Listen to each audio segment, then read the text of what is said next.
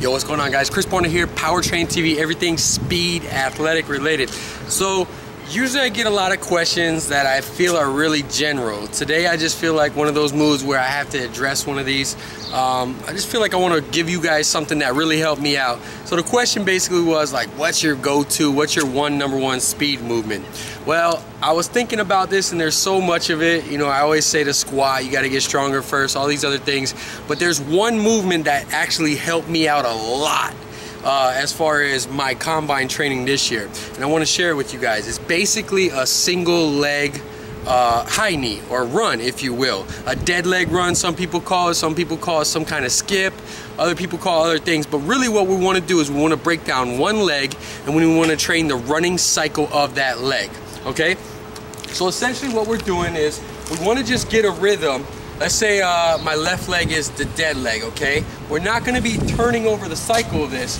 We're gonna be using this leg to turn the cycle, if you will. Now, there's three points that I really want you guys to focus on.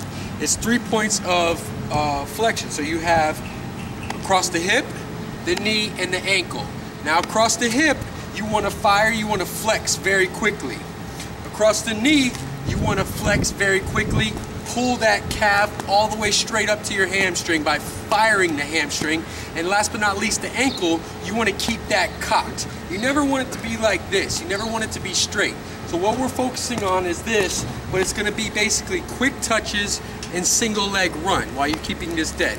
So you want to keep this rhythm here, this rhythm, this rhythm, and then you're going to start firing. Boom, boom, boom, boom, now obviously I'm getting my arms involved, I'm getting everything involved where I'm crossing my body and I'm focusing on firing each one of those. Here's the key points that I'm really I'm really working on when I did this. This really helped me out my top speed. I want to focus on keeping my body erect. I want to focus on quickly flexing the hip as fast as possible. Like I said, I'm also firing the hamstring. And then I want to focus on stabbing at the ground. Boom, boom, a lot of things that guys do, the, my problem was exactly was I was flexing really hard and when I touched the ground, I was really powerful. My problem was when this leg was in the air, I wasn't firing the glute and hamstring down. I was just allowing it to come down and then exploding out. So really this drill, what this teaches is for you to be able to stab that ground. Boom, while working that running cycle. Try it out. I know it's going to help you guys out. I'll let you next time.